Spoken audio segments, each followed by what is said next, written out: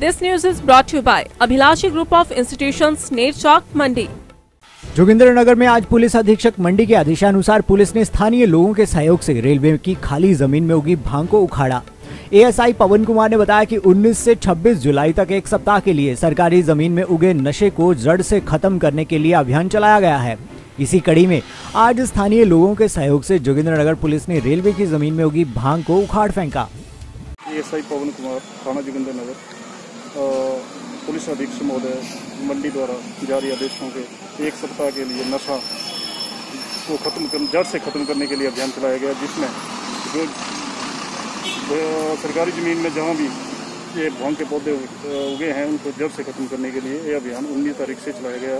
उसी कड़ी में आज जोगिंदर नगर रेलवे स्टेशन के पास उगी भाँग को अपने मुलाजिमों को, स्थानीय लोगों की सहायता से उखाड़ा गया। दिव्य हिमाचल टीवी के लिए जोगिंद्र नगर से दीपक चौहान की रिपोर्ट।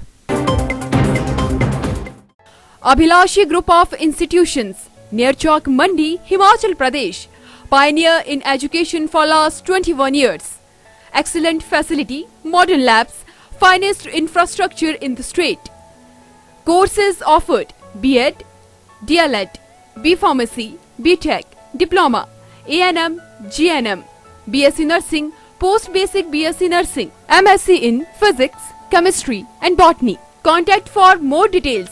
98164 00520 98167 00520 98160 05139